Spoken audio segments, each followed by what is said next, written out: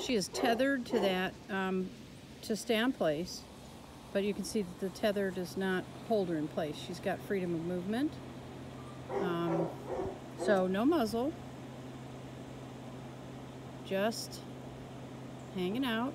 That's exactly what I'm looking for. If she makes a mistake, I'm going to correct it.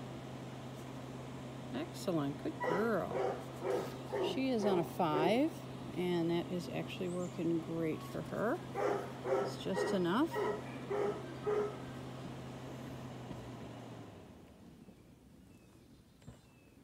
Hi there. Hello. How are you guys? Good. Just here to be a distraction. Perfect.